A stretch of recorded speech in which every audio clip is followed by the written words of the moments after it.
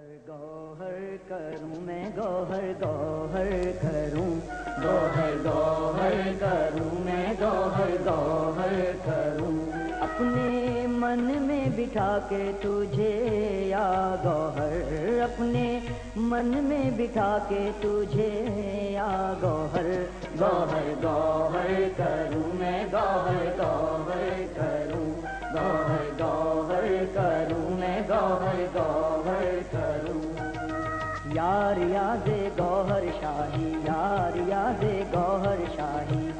یار یاد گوہر گوہر گوہر کروں میں گوہر گوہر کروں گوہر گوہر کروں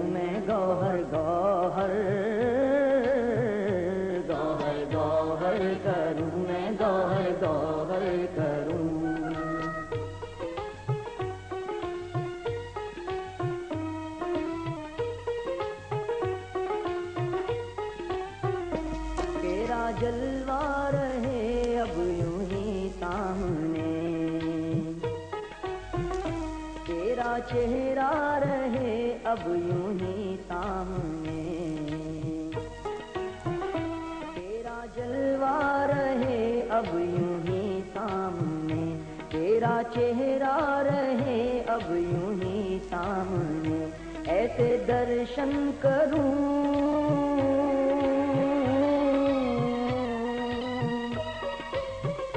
ایسے درشن کروں۔ درشن کروں گوہر گوہر کروں میں گوہر گوہر کروں۔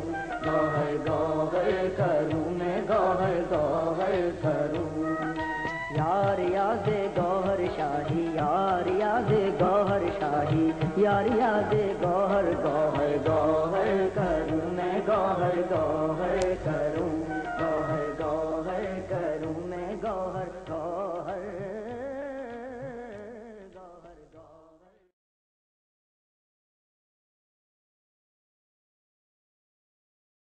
انجمن سرفروشان اسلام پاکستان ہے۔ سوال پیدا یہ ہوتا ہے کہ یہ طاقت کیوں بنی؟ دس روپے فنڈ دینے والے ممبران کی تعداد تنظیموں میں ہوا کرتی ہے، مگر انجمن سرفروشان اسلام میں دس روپے دینے والے ممبران کی تعداد نہیں، بلکہ سر دینے والوں کی تعداد ہے۔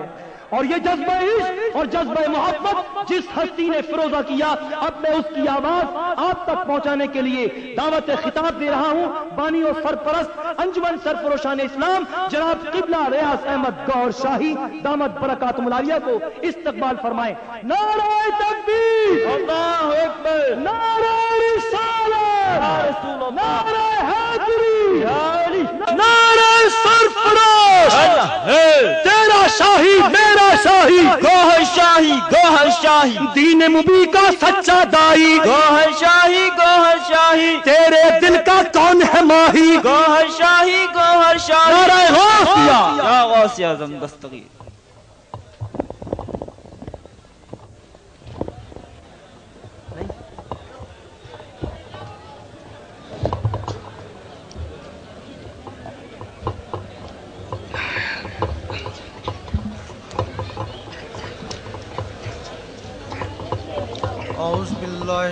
من الشیطان الرجیم بسم اللہ الرحمن الرحیم۔ عزیز ساتھیو، السلام علیکم۔ آپ کے اس محلے میں آنے کا مقصد کوئی سیاست نہیں ہے، کسی کی مخالفت نہیں ہے، کوئی حکومت پہ نکتہ چینی نہیں ہے۔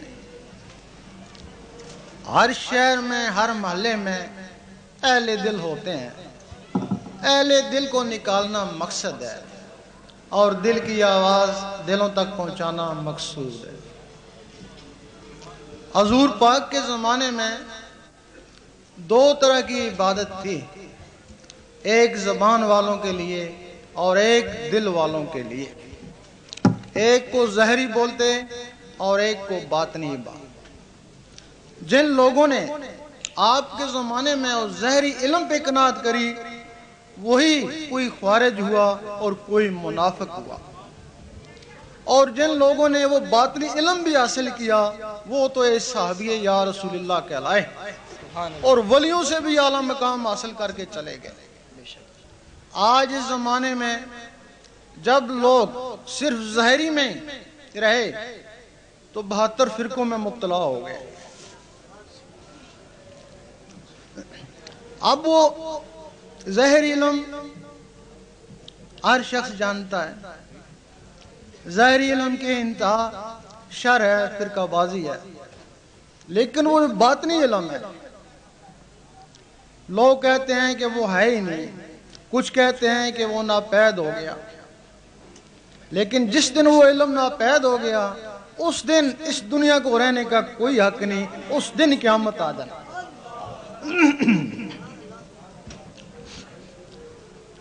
باطنی علم، کتابوں میں نہیں ہے۔ حدیث شریف میں نہیں ہے، مسجدوں میں نہیں ہے علماء کے پاس نہیں قرآن مجید میں صرف اشارے ہیں کہ خضر علیہ السلام کو علم لدن نہیں تھا۔ اشارہ ہے، وہ علم نہیں ہے۔ ایک اور جگہ ہے کہ اللہ تعالیٰ اپنے رسولوں میں جس کو چاہے علم غیب کے لیے چن لیتا ہے۔ یہ اشارہ علم غیب کا لیکن علم غیب نہیں ہے۔ حدیث شریف میں اشارے ہیں۔ حضرت ابو حریرہ رضی اللہ تعالیٰ فرماتے ہیں کہ مجھے حضور پاک سے دو علم حاصل ہوئے۔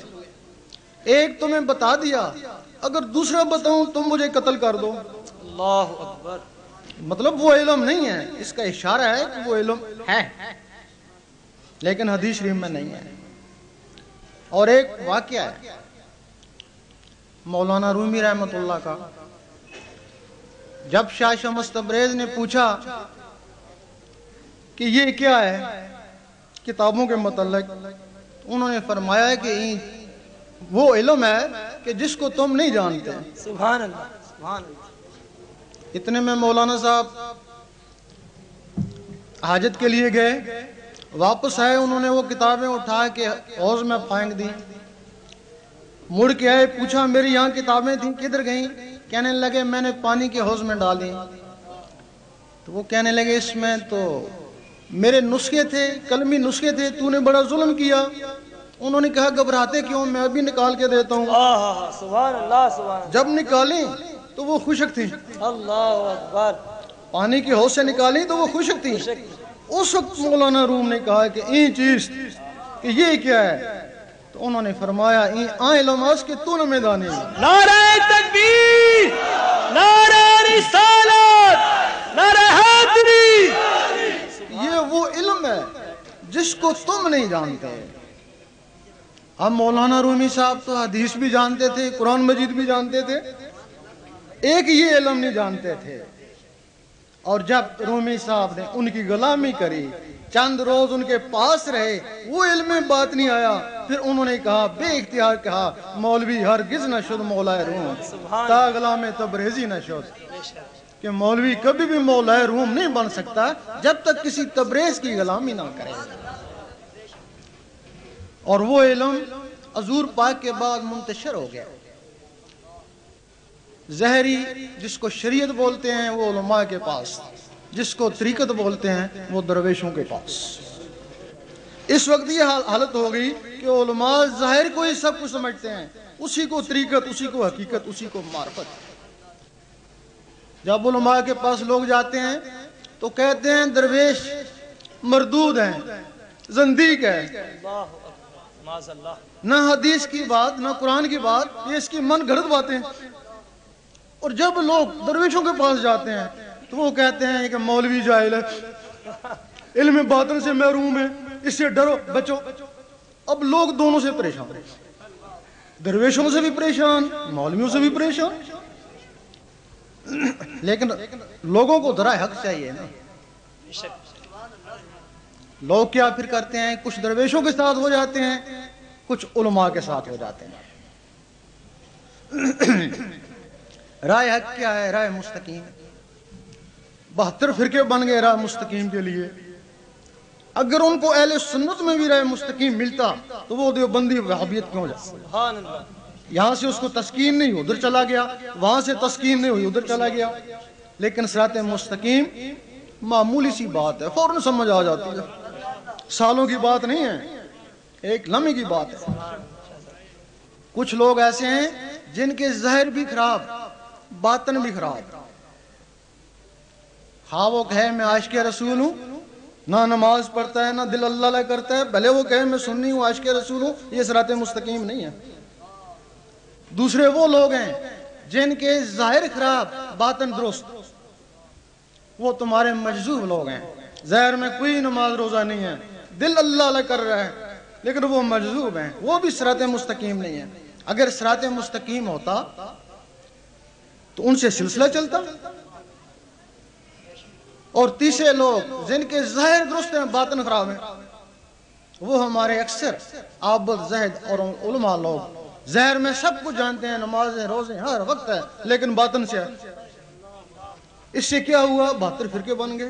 اور جس سے بہتر فرقے بن گئے وہ تو سرات مستقیم نہیں ہے۔ بے شک وہ نہیں ہو سکتا۔ تو پھر سرات مستقیم کیا ہے؟ زہر بھی درست اور باطن بھی درست۔ نعرہ تکبیر! نعرہ رسالت! نماز روزہ بھی کرو اور دل بھی اللہ علیہ کرے، یہ سرات مستقیم ہے۔ اب وہ درویش اور علماء، ان کا آپس میں اختلاف ہے۔ اب امت کو کیا چاہیے؟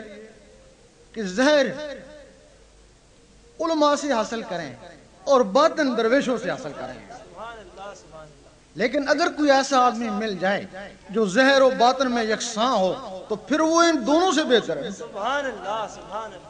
جس طرح غوث پاک تھے، مجدد صاحب تھے، خواجہ صاحب تھے، اگر ایسا آدمی کو مل جائے تو وہ درویش اور مولوی دونوں سے بہتر ہے اور ایسے آدمی ہم نے اس زمانے میں بھی دیکھے ہیں۔ ملتان میں کاظمی صاحب تھے اور لاڑکانہ میں مشہوری صاحب تھے۔ اور بھی کہیں ہوں گے لیکن ہماری نظر سے پوشیدہ ہی ہے